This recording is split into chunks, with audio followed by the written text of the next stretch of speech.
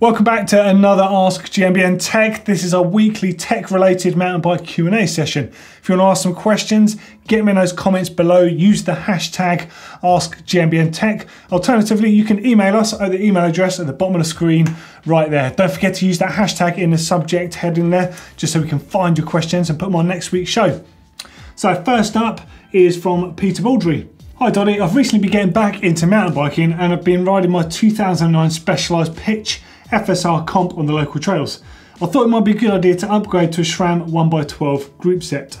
Only problem is I have no idea if standards have changed since I used to ride. Bottom brackets, hubs, axles, geometry, etc. Please help. Also, are there any other key areas that would be worth an upgrade on my bike?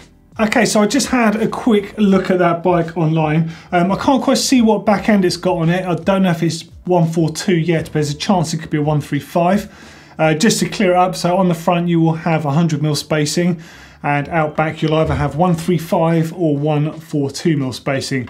These days it's a bit more common to see boost, which is 148 on the back and 110 on the front. So that's a new standard that's available. So next time you upgrade a fork, you might need to upgrade the wheel to go with that. You can get spacer adapters, but you do also need to space out the disc by, by that relevant amount as well in order for that to be compatible.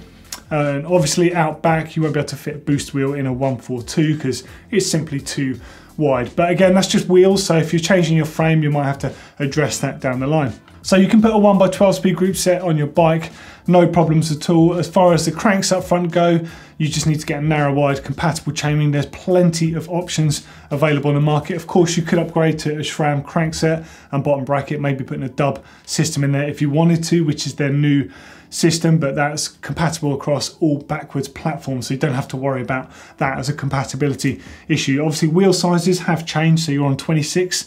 Most bikes now 27.5 or 29 inch wheels, so it's another thing to factor in when you do make future upgrades. Um, what else? Um, as far as the 12 speed transmission goes, there's a couple of things you need to take into account. So if your bike is 8 speed, then I don't think you can. If it's 9 speed or upwards, then you can upgrade to it, just simply because the free hub body size is a different size. Now there's two different free hub body styles. There's a Shimano classic spline one, and then it's a SRAM XD style. So if you want to use a SRAM 1x12 cassette, really you're going to need to use the SRAM XD driver body and it might not be compatible with your hub. You do need a special hub for that. However, SRAM do make the NX transmission, which is 12 speed, that does fit onto a Shimano pattern cassette body, which you will probably have on your bike. The only downside of this system is the cassette is entirely made from steel, whereas only partially steel on the other ones uh, and you lose that 10 tooth smaller sprocket in, in favour of having an 11 speed one which allows a conventional lock ring method of mounting it to the bike. But it can be done of course, so you can make all of those and just because your bike's in 2009 I wouldn't worry too much about all this stuff because you can find ways around all of these issues and you can just sort of upgrade as you go so don't worry too much about that. Of course, down the line, you're going to want to upgrade your bike. So if you upgrade any of those bits and pieces, bear in mind if you're going to want to sell them on there or upgrade them onto your future bike. I guess the only other real thing that has changed significantly since 2009 is geometry. Uh, your bike, I imagine, has probably got a stem probably 70 or 80 millimeters long on it, whereas most bikes now of an equivalent style bike, you'd be running more like a 30 or 40 millimeter stem. So the front of the bikes have got longer and you have a short stem to keep your bars in the same equivalent position, but your front wheel's further out in front of you. So this increases your control when descending, it gives you more weight on the front wheel when climbing, so much less of that near wheeling syndrome that you can get on shorter bikes when climbing. Uh, head angles are likely to be a lot slacker than they were on that pitch, which means more control at speed and on aggressive terrain and steep terrain. So really bikes have got slightly better, but it's all marginal gains the whole way along. At the end of the day, your 2009 Specialized Pitch is a fantastic bike. So don't feel like you need to just swap it out. Next up is from David Hurst. Hi GMBN, I currently have a 2017 Cube Stereo HPA SL. I'm wanting to upgrade my tyres, however, my wheel set is 584 by 25 internal. Will a 2.6 inch Magic Mary be suitable? And many thanks. Um, yes, provided you've got enough clearance on there, absolutely no problem, you'll get a 2.6 on there. 25mm internal is about as narrow as I would possibly say you could get away with a 2.6. Really, I would say a 2.4 would be a happier fit on that. Um, but the truth is, you'll never know until you actually try it. All you might get is a tyre with a slightly rounder profile because you bear in mind when you space out the bottom of a tyre, you can square up those shoulders. And of course, a 2.6 is an awfully big tyre. Um, you might be able to try it in a bike shop just for size on there, just a dry fit to see if it goes on okay, but I think you can do it, yeah. Bike comparison time now, so this one is from Joel Watkins. I'm saving up for an Orange Crush 2019 model comp hardtail. However, I can't decide on which version. For the same cost, I can get either a 27.5 with 150mm travel fork or a 29er with 140mm. The bikes fit enduro and fast, rough trail riding with roots and drops. Which one is better? More travel or bigger wheels? P.S. I'm six foot one, if that has an effect. Uh, thanks in advance. Uh, to be honest, mate, just get 29er straight out. So you're a tall dude, so you'll make the most of those big wheels. They'll fit you really well. You can ignore all that chattery stuff that gets in the way on a hardtail with those bigger wheels. Uh, being a 2019 model, you could also make the most of it by getting some bigger volume tyres, further increasing on that. And yeah, just because it's got 140, you could jack it up to a 150 and that bike will handle it. Slacken it out slightly as well. Dude, it'll go like a freight train. Get involved with the 29ers. I promise you, you will love it. Okay, a handlebar related question from Gabriel Bowfinger. I have a, a, little notch on my Race Face Atlas handlebars from something rubbing on it during transit. The big one is just a paint, but the smaller one is about 0.5 millimeter deep. Do you think it's anything I need to worry about? I absolutely love these bars and would hate to toss them out. On the other hand, the thought of my bars breaking during a ride is terrifying. I've been riding like this for a couple of months so far and it does seem to be fine. Uh, greetings from Germany, by the way. Um, well, I think the manufacturer, of Raceface, will tell you straight away to not ride those bars. Um, you don't need to be genius to work out that any scoring on an aluminium bar could lead to a catastrophic failure. Although you say it's only tiny and 0.5 mil thick, and I myself have ridden bars with worse scars on them in the past, perhaps on extended riding trips where I've done that during a crash and continue to ride the bike. However, you really should look at getting those bars changed. I hate to say that. If you want a second opinion on that, definitely take it to your nearest bike shop and see what they say. Although I'm sure that they will want to wash their hands and say, no, you should change those bars to be safe. At the end of the day, handlebars are a safety related item. Snapping handlebars is one of the worst things that can happen because you think of all the additional things that can happen. Facial injuries, sternum injuries, if your stem goes into your chest, there's a lot of bad things that can happen. Uh, I hate to say it, dude, but maybe it's a time to get those recycled and get a new pair of bars on your bike. Alrighty, next up from Taylor Brooker. Hi Doddy, in a few recent rides I've started to notice a creaking sound situated around the headset area. I've cleaned and re-greased my headset hoping to resolve it, but the creak remains. It also tends to only occur when I'm riding down the mountain. We'd really appreciate your help.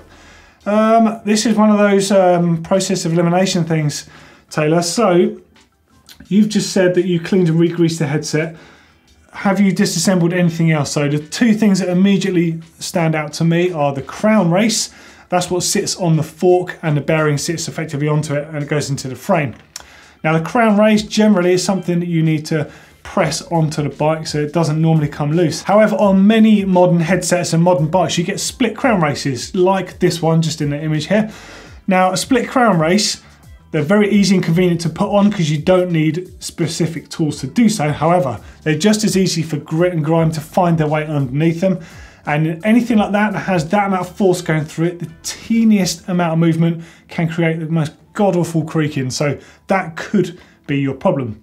The other thing is depending on how thin your cups are and what your frame material is made of, the cups could be dry and it could be moving in the frame. I mean, they only have to move like a microscopic amount for creaking to occur. So if you haven't got the suitable tools to take them out, maybe pop around to a friend's house that has, you'll need a rocket tool in order to remove the cups from the frame, which hold on, looks like like one of those bad boys. So basically the idea it is, is you slide them onto the inside of the frame till that locates just below that top cup and that will pop out underneath it and secure itself. Strike it with a mallet, preferably wooden or plastic ended, and the cups will come out of the frame. Repeat for the bottom cup. Now that's the official tool. You can do this with a punch, uh, an old blunt screwdriver you don't plan on using again, but you can damage the frame and you can damage the cup. So you're on your own if you want to do that method. Now when you put the cumps back in, use some grease onto the frame itself to make sure that they fit in nice and snug. And hopefully that will get rid of the creaking. Of course, the only other thing it could be is the steerer tube creaking within the crown of the fork. So if you've got a suspension fork, the steerer tube itself is press fitted when they're manufactured into there. And you do get occasions of the steerer tube itself creaking slightly within that crown. Um, I've had that in the past before. It drove me mad because I tried everything else on the bike to find out what it was and it ended up being that. So uh, process of elimination, you're gonna have to have a look at those things yourself, but good luck, dude. Next up is from Andrea Caligaro. Hi Doddy, I've got an issue with the clutch of my SRAM X01 rear derailleur with a 2.1 clutch. I used to run my bike with no chain falls whatsoever, but in the last months it started to fall often and on big compressions. Sometimes I get chain suck, so the tyre goes between the chain chainstay and the tyre. Even after replacing the chain ring and the chain itself, nothing changed, so I really feel there has to be something to do with the clutch. Is there anything I can do to make my clutch stronger, or is it the only way to replace the derailleur? Uh, first up, just check the clutch is working properly by giving it a push forwards. There should be a lot of resistance when you push the derailleur forwards. If there's no resistance, then the clutch might have failed, in which case there could be a chance that your derailleur is under warranty if it's under a year old. If not, you might want to replace that. Another thing it could be is if your chain is a few links too long.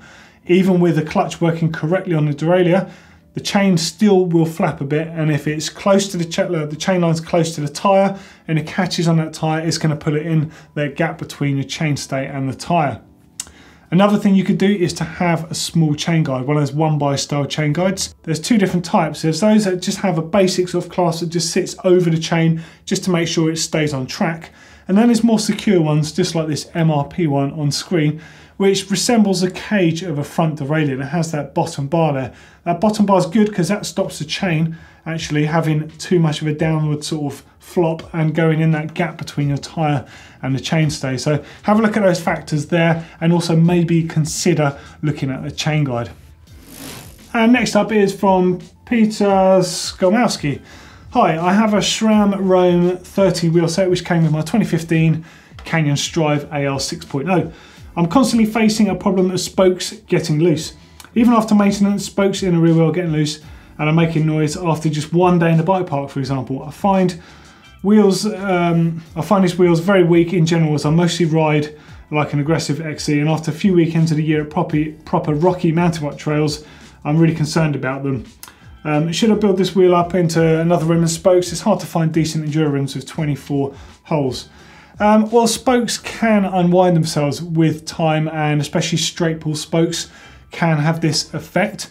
One way around this is to get some spoke thread lock. Now, just for example, DT make Prolock nipples and they have a spoke thread lock agent inside them to, to prevent exactly this problem. So that's definitely something you can consider. And also make sure when your wheels are retensioned and true that they are tensioned correctly and they're tensioned all the way around. Now a great way of doing that is by using a spoke tension meter like this Park Tools one and go onto the Park Tools website and they've got an app with all the readings that you can do on the tension meter. It builds a, like a replica of your rear wheel and it tells you about the tension and what basically what you need to do to make sure the tension is perfect around the whole wheel. Now this was something that Calvin showed me through when he was here recently and I was blown away by how accurate this is. So you can actually make sure your wheel is perfectly tensioned as well as making sure at the same time you put some spoke thread lock on there to stop those spokes unwinding themselves and hopefully your wheel set will be fine. However, if you are still struggling with that, then by all means consider looking at a wider rim, a slightly chunkier option, and you might want to look at traditional J-bend spokes if you're suffering from this as a problem. So there we go, there's another successful Ask GMBN Tech Q&A session in the bag. Get your questions in for next week's show down there or you can email us at hellotech at gmbn.com. Don't forget to use the hashtag AskGMBNTech. And for our Essential series, click down here. It's a great, fantastic series for everyone that's not quite sure that they know everything about working on their bikes and it's going to help you do that. As always, give us a thumbs up if you like our content and don't forget to subscribe.